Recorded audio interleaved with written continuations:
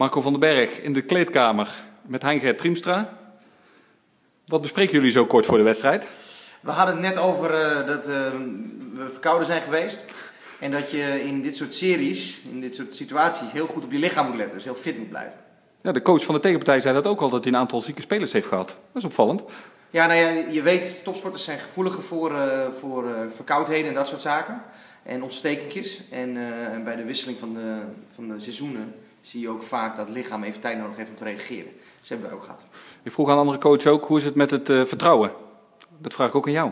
Prima. We hebben uh, twee wedstrijden de kans om de finale te halen en dit is de eerste.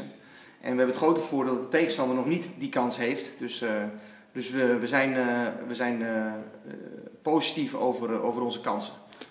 Hoe is het met het energieniveau? Ja, dat moeten we straks zien. Het is natuurlijk wel moeilijk, zo vroeg op. En, Jullie zijn vanochtend vertrokken? Ja, ja, ja. En um, uh, je adrenaline op peil krijgen zo vroeg uh, op een dag is natuurlijk anders. Wij trainen wel door de week wel vaker uh, om half drie, dus niet om half twee, maar om half drie. Dus dat is enigszins vergelijkbaar. En je moet je er ook op instellen. Mentale kwestie dus weer?